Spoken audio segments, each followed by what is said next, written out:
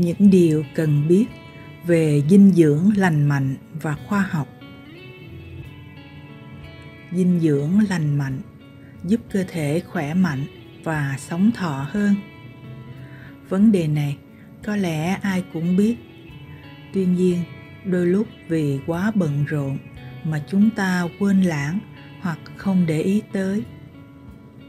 Video này sẽ tổng hợp lại những điều cơ bản nhất cần thiết nhất, dễ nhớ nhất để người xem có thể dễ dàng thực hiện, để có sức khỏe tốt và tránh được nhiều căn bệnh phổ biến của thời đại này. Thứ nhất, ăn uống khoa học là ăn đúng giờ, không bỏ bữa. Cuộc sống hiện đại ngày nay khiến mọi thứ trở nên thuận tiện hơn, dễ dàng hơn nhưng đi cùng với đó cũng là rất nhiều những hệ lụy, như con người sẽ cảm thấy nhiều áp lực hơn trong công việc. Mức độ cạnh tranh ở môi trường công sở ngày càng cao, làm cho mọi người luôn phải nỗ lực làm việc và không ngừng học tập, nâng cao kỹ năng, kiến thức nghề nghiệp, tích lũy kinh nghiệm sống, vân vân. Thành ra lúc nào cũng rất bận rộn nhiều người vì quá bận rộn nên ít để ý quan tâm đến sức khỏe hay ăn uống qua loa thất thường. Họ không biết rằng việc ăn uống đúng giờ, không bỏ bữa là rất quan trọng cho sức khỏe vì nó giúp cơ thể được tiếp thêm năng lượng kịp thời, duy trì sự hoạt động của các tế bào và có đủ sức khỏe để tiếp tục học tập, làm việc hiệu quả nếu cơ thể không có đủ năng lượng, sẽ gây ra mệt mỏi, uể oải, thiếu sự minh mẫn tình trạng bỏ bữa kéo dài cũng sẽ dẫn đến sự thiếu hụt dinh dưỡng, làm gia tăng nguy cơ mắc các bệnh về tiêu hóa như đau dạ dày, loét tá tràng, hay dẫn đến các tình trạng khác như thiếu máu do thiếu sắt hoặc loãng xương, do thiếu canxi và vitamin D.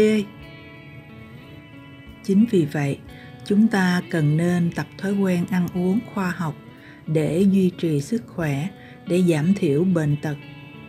Đặc biệt cần nên nhớ, ăn uống thất thường hay bỏ bữa là một thói quen không tốt, cần phải thay đổi bữa ăn sáng là bữa ăn quan trọng nhất trong ngày giúp cơ thể phục hồi năng lượng sau một đêm dài và giúp tăng sự tập trung cho trí não chúng ta có thể cân đối sắp xếp các bữa ăn trong ngày theo những khung giờ phù hợp với công việc và cuộc sống của bản thân chứ tuyệt đối không nên bỏ bữa thứ hai nên ưu tiên sử dụng các loại thực phẩm nguyên chất chưa qua chế biến. Đây là những loại thực phẩm còn giữ nguyên giá trị dinh dưỡng và mang lại đầy đủ dưỡng chất tự nhiên, tốt cho sức khỏe của người sử dụng, cũng như giúp hỗ trợ tiêu hóa, giảm cholesterol xấu, tăng cường hệ miễn dịch và chống lại các tác nhân gây ra cao huyết áp, tiểu đường, tim mạch và một số loại bệnh khác. Những thực phẩm có nhiều dưỡng chất tự nhiên và có công dụng tuyệt vời cho sức khỏe có thể kể đến như ngũ cốc nguyên hạt, gạo lứt, rau xanh, trái cây tươi, các loại đậu, vân vân. Thứ ba, hạn chế dùng muối quá nhiều. Muối là gia vị tạo nên độ ngon cho món ăn và cung cấp những khoáng chất cần thiết cho hoạt động sống của cơ thể. Thế nhưng, việc sử dụng quá nhiều muối vào bữa ăn hàng ngày không những không mang lại lợi ích gì mà còn gây ra nhiều tác hại. Người bình thường chỉ nên ăn khoảng 5 gram muối một ngày. Nếu ăn nhiều hơn sẽ khiến cơ thể dễ mắc bệnh sỏi thận, tăng huyết áp, gây áp lực cho tim và tăng nguy cơ mắc bệnh đột quỵ. Cho nên hạn chế dùng muối được xem là một cách vô cùng hữu hiệu để chúng ta thay đổi thói quen ăn uống lành mạnh. Thứ tư các nguyên tắc cơ bản của một chế độ ăn uống lành mạnh.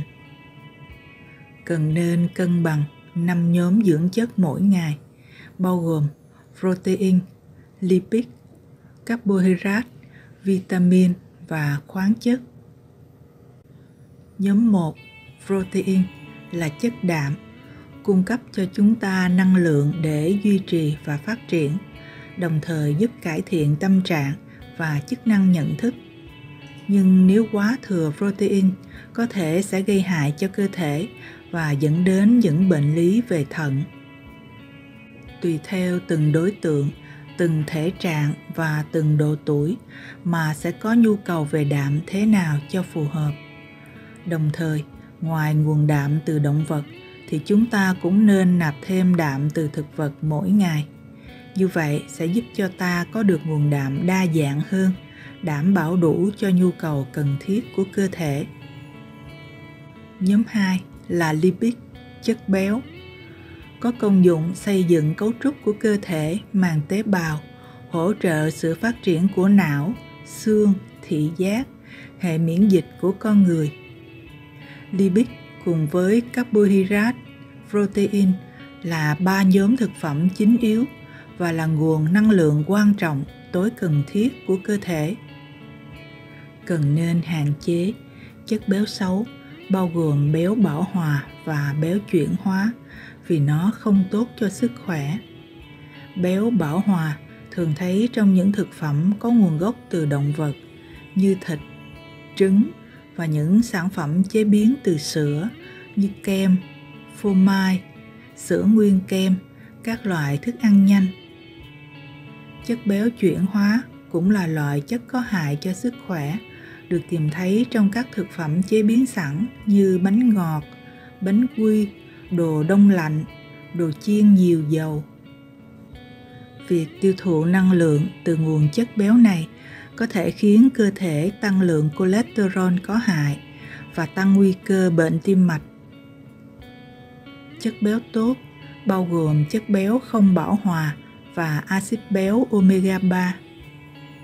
Chất béo không bão hòa có trong các loại dầu ăn như dầu hạt cải, dầu đậu phộng, dầu ô liu, dầu đậu nành hay dầu mè. Còn axit béo omega 3 đa phần có trong các loại cá biển như cá thu, cá mồi, cá hồi hay trong các loại hạt như hạt ốc chó, hạt lanh. Khi sử dụng các loại chất béo này sẽ giúp giảm các nguy cơ mắc bệnh về tim mạch. Nhóm 3. Carbohydrate là chất bột đường và chất xơ. Công dụng chính của carbohydrate hay carb là sinh ra năng lượng tính bằng kilocalo. Để có năng lượng, hệ tiêu hóa phải biến carb thành đường gluco, ruột mới hấp thu được, rồi chuyển gluco vào máu tới các tế bào để đốt để sinh ra năng lượng cho cơ thể. Nếu thiếu gluco thì chúng ta sẽ bị ngất xỉu do hạ đường huyết. Cho nên không thể không có cáp trong chế độ ăn hàng ngày nhu cầu về cáp mỗi ngày phụ thuộc vào giới tính, kích thước cơ thể và mức độ hoạt động của cơ thể. Thế nhưng, nếu hấp thụ quá nhiều cáp sẽ dẫn tới tình trạng nồng độ đường trong máu tăng lên quá cao. Khi đó cơ thể sẽ phải sản xuất ra nhiều insulin hơn và về lâu dài có thể dẫn đến bệnh tiểu đường. Đồng thời, lượng gluco dư thừa sẽ chuyển hóa thành chất béo nên sẽ dẫn đến thừa cân, béo phì và nhiều bệnh lý khác không tốt cho sức khỏe. Vì thế, các chuyên gia dinh dưỡng khuyên chúng ta nên ưu tiên sử dụng các loại cáp tốt như ngũ cốc nguyên hạt, trái cây tươi, rau xanh, các loại đậu và các thực phẩm giàu chất xơ và cắt giảm bớt bánh mì trắng, bánh ngọt đường tinh chế, thực phẩm chứa hàm lượng natri cao và các thực phẩm có chất béo bảo hòa. Nhóm 4. Vitamin Vitamin là các hợp chất hữu cơ, những chất thiết yếu của cơ thể, chỉ một phần rất nhỏ nhưng giữ vai trò vô cùng quan trọng trong việc duy trì sự phát triển bình thường của cơ thể con người. Vitamin là thành phần cấu tạo nên tế bào, tham gia vào quá trình trao đổi chuyển hóa chất dinh dưỡng để duy trì sự sống của tế bào. Vitamin giúp tăng cường sức đề kháng, tăng khả năng miễn dịch và điều hòa hoạt động của não bộ và tim. Chúng còn được xem như là một chất hoạt hóa enzyme giúp cơ thể biến đổi thức ăn và thực hiện quá trình đồng hóa, tạo ra năng lượng cung cấp cho các hoạt động sống. Cơ thể con người không tự tổng hợp được vitamin nên phần lớn phải cần đến các loại thực phẩm bổ sung hàng ngày. Chúng ta thường nghe nhắc tới vitamin A, vitamin B, vitamin C, vitamin D, E, K và mỗi loại vitamin sẽ có những chức năng riêng đối với cơ thể. Nhóm thứ năm là khoáng chất. Khoáng chất cũng có vai trò quan trọng như vitamin, gồm có natri, chlorua, kali, canxi, phosphor, magie hay các chất khoáng vi lượng như sắt, mangan, đồng, iốt, vân vân. Mỗi chất khoáng lại có những công dụng riêng. Khoáng chất tham gia vào cấu tạo tế bào, duy trì hoạt động sống và đặc biệt quan trọng trong việc cân bằng các chất lỏng, duy trì sự phát triển của răng, xương, cơ cũng như hỗ trợ cho chức năng của hệ thần kinh. Cơ thể cũng không tự sản xuất ra được khoáng chất mà cần được cung cấp chủ yếu thông qua đường ăn uống. Thứ năm, cách duy trì một chế độ ăn uống lành mạnh. Hãy tự nấu ăn nhiều hơn đi ăn ngoài. Khi ta tự nấu ăn ở nhà, sẽ kiểm soát tốt hơn những thực phẩm đưa vào cơ thể cũng như thành phần dinh dưỡng trong mỗi bữa ăn. Kiểm soát được lượng calo nạp vào, hạn chế bớt những chất phụ gia hóa học lượng đường và các chất béo không tốt. Hãy nên chuyển sang những món ăn lành mạnh, thay thế những chất béo không tốt bằng những chất béo tốt. Ví dụ như chuyển từ ăn gà rán sang ăn cá hồi nướng. Đồng thời, sử dụng nhiều hơn các loại tinh bột chưa qua tinh chế như ngũ cốc nguyên hạt, rau củ quả tươi, nhiều chất xơ, hãy tập trung vào bữa ăn việc tập trung vào bữa ăn sẽ giúp chúng ta nuôi dưỡng thói quen và hình thành khẩu vị lành mạnh. Từ đó sẽ giúp hấp thụ dưỡng chất tốt hơn. Hãy ăn chậm, nhai kỹ, tránh sử dụng các thiết bị điện tử trong khi ăn, cũng như tránh việc ăn vặt trước và sau các bữa ăn. Kiểm soát cảm xúc trong bữa ăn. Không nên tìm đến việc ăn uống hay ăn vặt để giảm bớt căng thẳng hoặc đối phó với những cảm xúc khó chịu như buồn bã, cô đơn hoặc chán nản. Hãy nên ăn uống trong tâm trạng vui tươi, thư giãn. Ăn theo cách thưởng thức món ăn mà mình yêu thích, chứ không phải chỉ để thỏa mãn cơn đói. Nên ăn uống khoa học và đúng giờ. Đôi khi chúng ta phải biết tạm ngừng những công việc đang gian dở để dành thời gian cho bữa ăn, để ăn đúng giờ không nên bỏ bữa cũng không nên để khoảng cách giữa hai bữa ăn quá dài vào ban ngày chúng ta sẽ ưu tiên các loại thực phẩm cung cấp năng lượng cần thiết cho các hoạt động và buổi tối là các thực phẩm có vai trò tái tạo tế bào sau khi nhịn ăn qua một đêm dài cơ thể cần có một bữa ăn sáng đảm bảo đủ carbohydrate, lipid và protein. Nên ăn sáng trong khoảng thời gian từ 6 đến 8 giờ sáng, ít nhất là 20 phút sau khi ngủ dậy. Bữa trưa nên được thực hiện sau bữa sáng khoảng 4 đến 5 tiếng. Bữa trưa nên bao gồm thịt hoặc cá ít chất béo, rau củ và trái cây khi càng cố nhịn ăn cơ thể sẽ có xu hướng đói và thèm ăn nhiều hơn vì vậy hãy nên tôn trọng nhịp sinh học của cơ thể bằng cách ăn uống đúng giờ và không bỏ bữa bữa tối nên ăn từ 6 đến 7 giờ tối. Ăn tối quá gần giờ đi ngủ sẽ làm tăng lượng đường trong máu và tăng lượng insulin, khiến chúng ta khó đi vào giấc ngủ.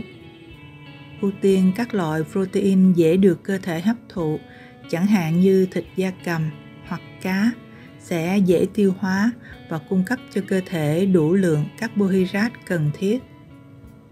Cần tránh ăn khuya, nên để bụng rỗng trong vòng 14 đến 16 giờ cho đến khi ăn sáng vào sáng hôm sau.